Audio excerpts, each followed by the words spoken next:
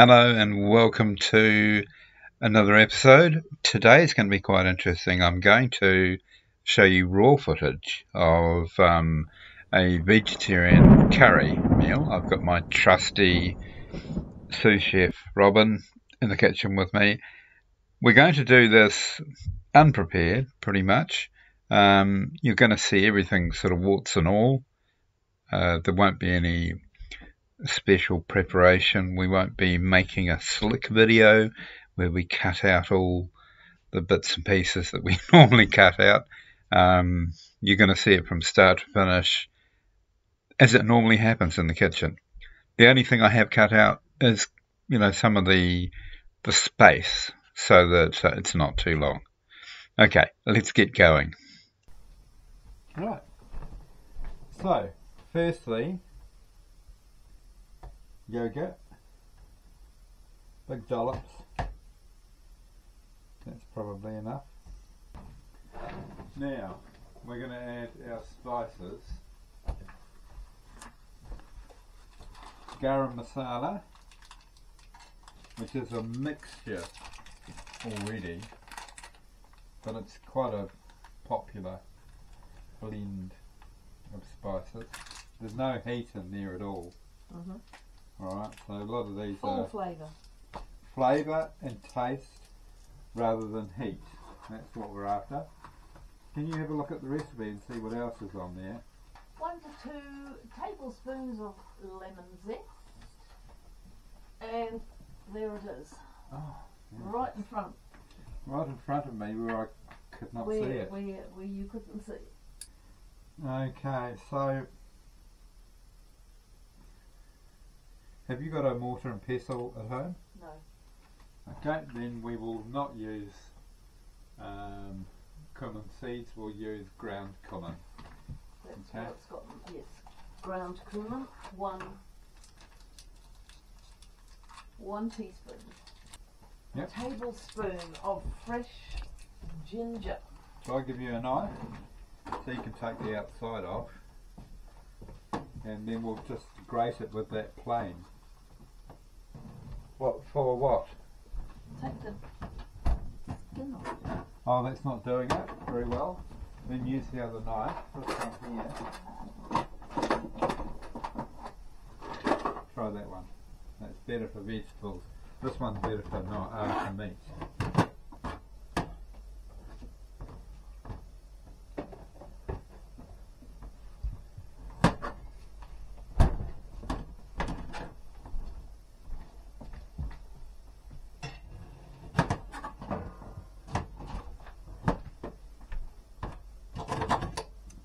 Right, after all that, we have our ginger.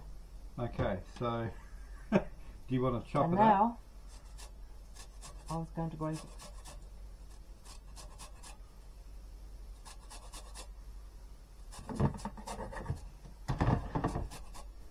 And John nearly tips it all in the sink. Can't do can't do much with it while it's in the sink, can we? Really. It's got to be said. You can't do much with that in the sink. tablespoon of fresh ginger. There you go. You what? A tablespoon of fresh ginger. Okay. Does it does it look does it look professional? Very professional. Well then that, that's exactly what you want. It just has to look good. Try not to grate your fingers.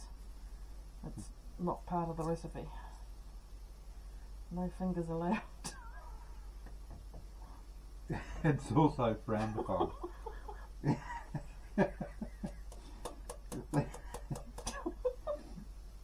wait a wait there's a finger in my um, vegetable curry. Don't tell everybody. Everybody will want some. What was, the, what was the old Spike Milligan? He used to do, a waiter, waiter. there's a fly in my soup. Well, what's what? this fly doing in my soup? Oh, doing the backstroke. But he did, the best one he did was, waiter, waiter. There's a there's a, there's a fly in my soup. Oh, don't worry, sir, the spider on the bread roll will get it. Oh, God. there's the garlic there. So that's just chopped and tailed and chopped. The magic garlic cutter. Pardon? The magic garlic cutter. You want the you want that? You can put- have something else. Yeah, but that's easier for you. This one, I find Now, now John is saying I don't know how to use kitchen you really need to put weight behind it. And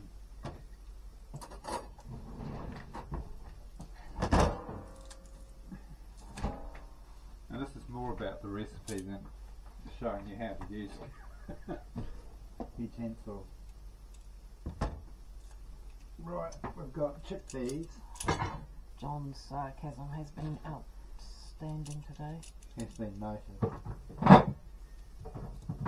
Um, That's a lot of garlic in here. Oh, it does go in here. and we'll put cantaloupe So all four in there as here. well. Yeah, all of them in there. So you get a tin of chickpeas. And there we have it. Right, now we can add a little. Did you knock the camera? No, I've been nowhere near it. A little grated salt and some black pepper.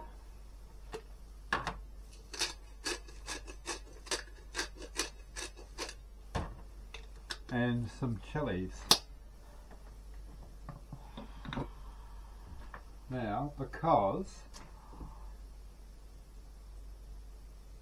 that's exactly how much we're going to use, practically none. So we should get a just almost a hint, but pretty much you won't notice anything. And we're going to put Mm.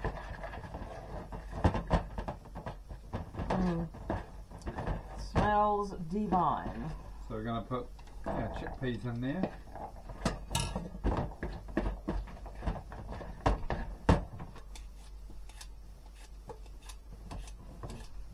Now the potato. So if you can cut the potato into cubes, just marginally bigger than the chickpeas. And then when we come back, we'll put our onions in, eh? So put in a big knob of butter, a big knob of butter, Mm. and we put some olive oil in there as well to stop the butter from burning.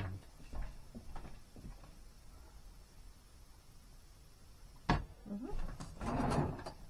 I need a spoon. Yeah.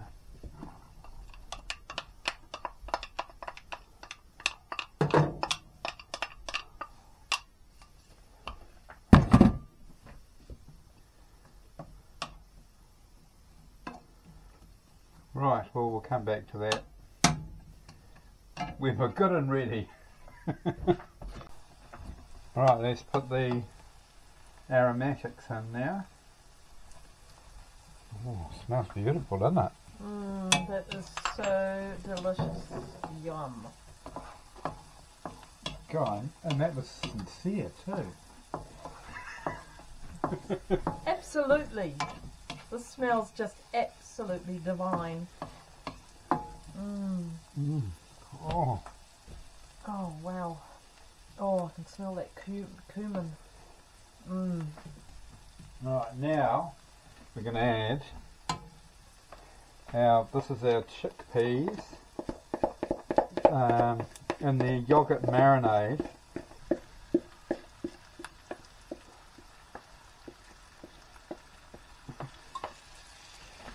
Dying to get that wooden spoon in there.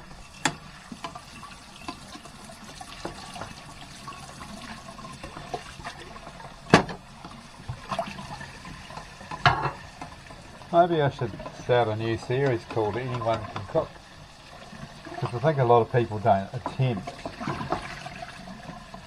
these sorts of recipes because Yes, they're, they're thinking that they're too difficult, too complex. Do you think it's when when people see all the you know all the different spices and they think, well, I could never do anything that complicated. But as you see, it's very, very easy. very easy. Right.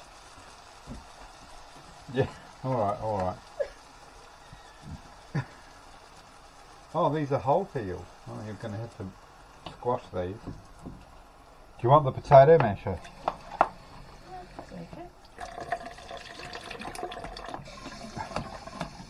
I hardly ever use whole peel, but I'm su- I've been told, and somebody might put me right or put me wrong. I don't know, but apparently, um, the quality of the of the tomatoes, if they're whole peeled in a can, is better. Mm. I don't know whether that's true or not. Okay, so one more thing. We've got our coconut cream in there. And now that can sit and simmer, very low temperature, lid off for about half an hour. Right, the broccolini. So the stems, we're just going to cut like that.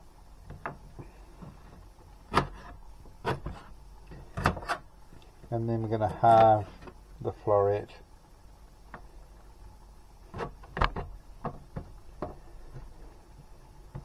And we only need to cook these for about five minutes, you reckon? hmm Or even less than that.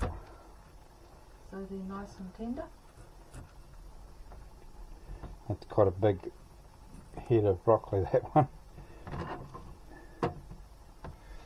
And we'll- the only other thing we need to do is put the um, rice on. So, and we don't need the camera on for the rice because nothing happens.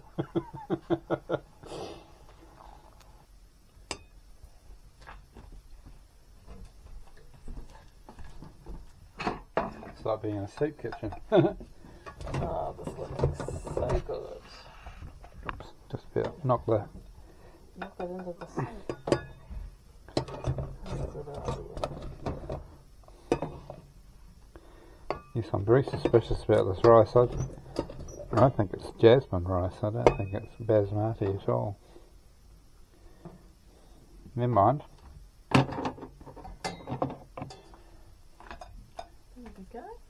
And what else have we got? Oh, this looks nice, doesn't it? Lovely. Anything that can be have some more water put in it, couldn't it? Mm.